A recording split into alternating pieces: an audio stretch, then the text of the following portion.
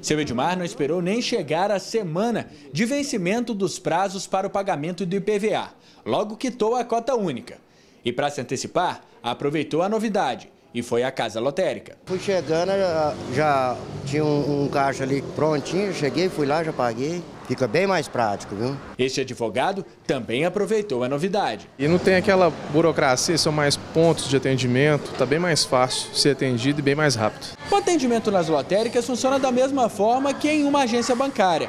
Para efetuar o pagamento do IPVA, do licenciamento ou do seguro obrigatório DPVAT, basta que o proprietário do veículo apresente a um dos caixas o número do Renavan e assim terá acesso aos valores que devem ser pagos. O período para o pagamento total ou da primeira parcela do IPVA vai de 16 de janeiro para placas com final 1 a 27 de janeiro para placas com final 0. De acordo com o Sindicato das Loterias, o movimento nos estabelecimentos neste período deve se intensificar em pelo menos 20%. As pessoas concentram mais o pagamento nesse começo do mês, né? Como vai começar na segunda quinzena, a gente espera que realmente possa atender de uma forma mais rápida. Para Edmar, o atendimento mais rápido é sinônimo de mais tempo para trabalhar. Ter mais tempo para trabalhar e ganhar dinheiro para pagar tudo. Então, ganha mais tempo.